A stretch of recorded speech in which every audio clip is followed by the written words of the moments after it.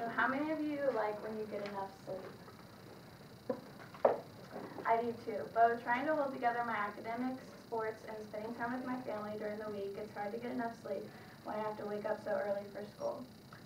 Did you know that a good night's sleep improves learning? According to the National Health Institute, whether you're learning math, how to play the piano, how to perfect your golf swing, or how to drive a car, sleep helps enhance your learning and problem-solving skills. Sleep also helps you pay attention, make decisions, and be creative. As you can see, sleep is very important, and when it comes to learning, and and if we were to when it comes to learning, and if we were to start school later and give high school students a chance to get the amount of sleep they need, then it could improve their productivity and learning skills in school. Me, being a senior, have experienced the difficulties of waking up early for school.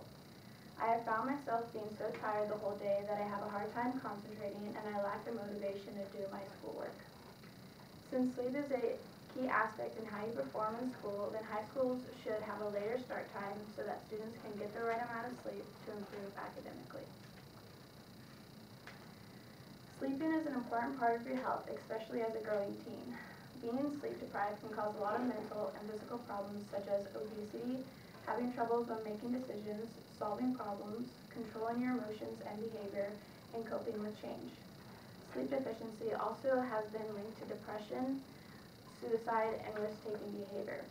Now, as, a board, as board members of the school, are you willing to let these problems consume your students just from lack of sleep?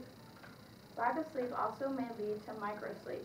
Microsleep refers to brief moments of sleep that occur when you're normally awake. You can't control microsleep, and you might not be aware of it. For example, have you ever driven somewhere that, that have you ever driven somewhere and then not remembered part of the trip? If so, you may have experienced microsleep.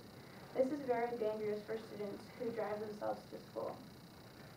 Even if you're not driving, microsleep can affect how you function if you're listening to a lecture, for example, you might miss some of the information or feel like you don't understand the point which could lead you to falling behind in class.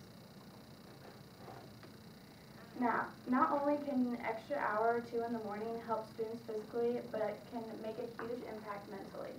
It has been proven that when students are given tests on the weekdays, there is a huge drop in their IQ scores compared to if the test was given on the weekend, where the students were able to get more hours of sleep.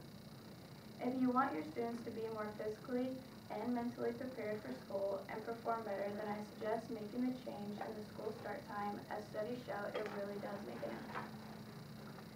Now I know what you're thinking. What about the bus schedule and the sports that are after school? My ideas for the bus schedules would be that students in the lower grades, like K through 6, should be the ones to come in a little early, and 7 through 12 get picked up after the lower grades arrive at school. This might be a difficult change, but I believe, as should you, that it is worth the effort if it means students perform better in school. Now with the practice schedule, practice usually end around 5, so if they would have so they would have to end a little later with the later start time, but I feel that athletes would not have a problem with the change because it's with more sleep that they are receiving in the morning, it could end up helping them improve in their sport. Now I want you board members to visualize what it would be like to have more intelligent and willing to work students. Also imagine how happier the teachers would be with students who pay more attention, have the urge to participate, and do better on projects, tests, and quizzes. Sounds amazing, right? Not only will your students be, be improving, but your teachers will be pleased with students being more involved in the classroom. School start time for high schoolers can improve their lives academically and physically. Changing a lot of things to make this happen can be a difficult process, but if studies show that it helps the students more in school, then I believe it can be worth trying. I hope that hearing the statistics behind this problem will help you decide to make a school a better place and help us students be better versions of ourselves.